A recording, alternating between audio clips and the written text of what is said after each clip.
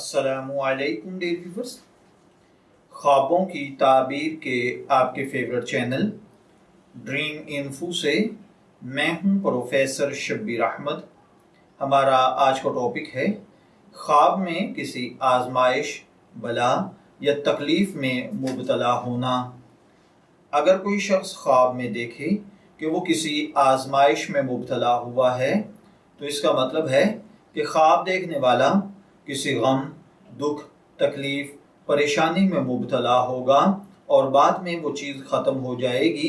अल्लाह ताला आपको खुशी, सुरूर और अच्छा नसीब अता फरमाएगा।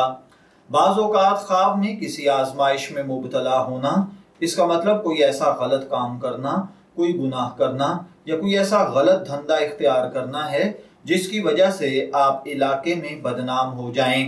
बाज़ात ख्वाब में आजमाइश में मुबतला होना, कैद होना भी होता है। अगर किसी ने देखा कि वो किसी तकलीफ़ या आजमाइश में मुबतला है तो इसका मतलब मकरूज हो जाना भी होता है। बाज़ात ख्वाब के अंदर किसी आजमाइश में मुबतला होना, किसी बीमारी में, किसी मर्ज में घिर जाना है।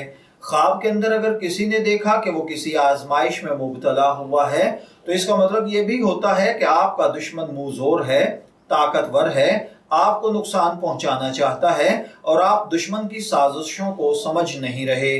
बाज़ात ख्वाब के अंदर किसी आजमाइश में मुबतला होना, औलाद का नाफरमान होना है। ख्वाब में आजमाइश के अंदर मुबतला होने का मतलब रिस्क में तंगी आना, दोस्तों का साथ छोड़ देना, रिश्तेदारों का मुखालिफ हो जाना है। ख्वाब में अंदर, ख्वाब के अंदर किसी आजमाइश में मुबतला होना, दुख तकलीफ़ राहत का ख़त्म हो जाना है। लेकिन इन तमाम ख्वाबों की ताबीर अगर किसी ने आजमाइश में मुबतला खुद को देखा है तो इसका मतलब ये तमाम चीज़ें आर्जी हैं। कुछ वक्त के बाद आपकी आजमाइश खत्म हो जाएगी।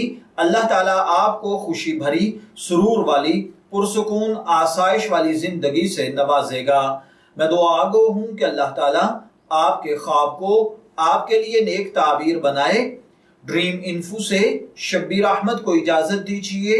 फिर हाजिर होंगे किसी नए टॉपिक के साथ। तब तक के लिए अल्लाह हाफिज।